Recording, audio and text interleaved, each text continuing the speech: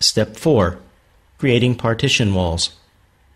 Select the first preset view from the Creating Partition Walls folder and the Wall 10 entry from the Favorites palette. Create the walls called for by the label arrows. Do the same with preset views 2.42 through 2.410. You do not have to activate the Wall 10 favorite each time.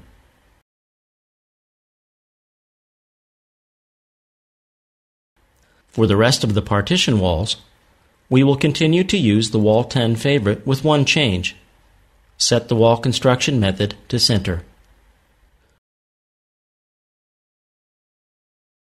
Create all the walls called for in the rest of the preset views in this folder without changing the wall favorite or wall settings.